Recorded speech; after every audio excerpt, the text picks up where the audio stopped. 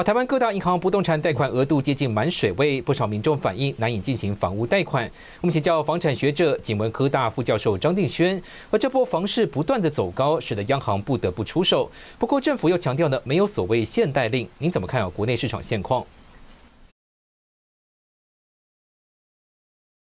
哦，原则上来说，这是的确不是什么限贷令啊，因为这个所谓的央行请喝咖啡，而在货币政策上面，我们叫做道德劝说。但它会不会最有影响力呢？它既然会被视为这个货币政策，通常来讲，只要不是太为难的事情，那尤其是国营的银行，对于这个央行所谓的道德劝说呢，大多数都会配合。好，那问题是说呢，就银行它经营来说的话。他一定是尽量的去把它能放贷尽量放贷，去冲到满水位。那所以呢，他现在突然间想去配合央行的时候呢，那突然间呢去压慢它的放贷的速度的时候，才会引引发民怨。但是我们要理解理解的一个状况是，央行这一次它这个动作不只是邀集了很多行库来，你会发现它这次所谓的央行喝咖啡，它有一个很很特别的事情，它邀很多的媒体过来。好，来来呢，看他们那个线上，所以央行是需想要让社会大众了解，这的确是一个问题。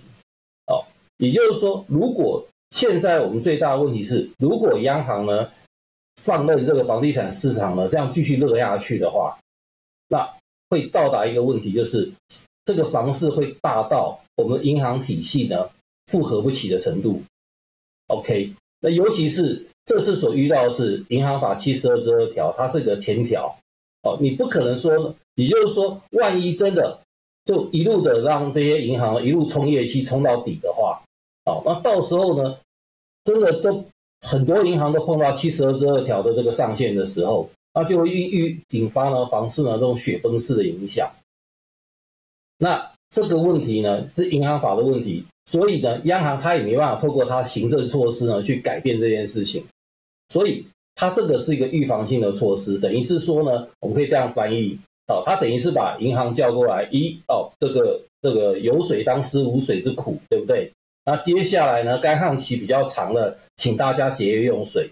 那其实大家很忽略呢，其实央行还有提示一件事情，就是什么东西哦？民生用水优先，也就是什么东西呢？他希望呢，银行能够这一首购的部分呢，对优先做放贷。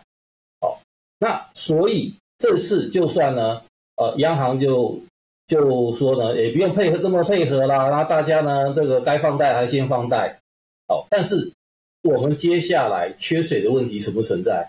也就是很多银行到明年的时候，很可能它就会陆陆续续都逼到呢七十二之二条的上限的时候，这个问题存不存在？存在，也就是我们没办法当这个房市以这种速度再这样热下去了。OK，那当然对后市来讲的话，你就知道推动的力道慢慢、慢、慢慢的还是会有受到影响，会减弱。就是它必须要降温，不是现在降温，那也是以后要降温。就是看呢，是现在我现在央行呢要求各个银行呢主动去降温，还是以后呢大家都碰到七十二这条上限之后呢被迫去降温？OK，那。那大家也了解到，这个以目前立法院的生态，跟呢对于银行铺险上的管理，你根本不太可能去要求立法院呢去修改七十二十二条，去把这个上限提高。那所以说，其实这个问题几乎是无解的，就是缺水的问题，就缺资金的这个问题，几乎是无解的。哦，那对房市未来呢，有办法用这个速度去推上去？哦，那这是有很大的疑问的。那现在比较大的问题就出在于说呢。很多的这个所谓的地主、投资主或者是建商也好，他们已经有很高的成本了，在抢地了，在裂地了。那所以呢，这些地呢，到时候要怎么去除清啊？这个就会变成一个很大的问题。所以说，他的问题就是说，你的问题是现在要发生，还是呢明年要发生？但是迟早大家都要面对这个问题的。我们没办法让房市呢用这种速度呢继续再热下去，这已经超过了。我们目前银行体系呢，能够超能够复合的一个上限了。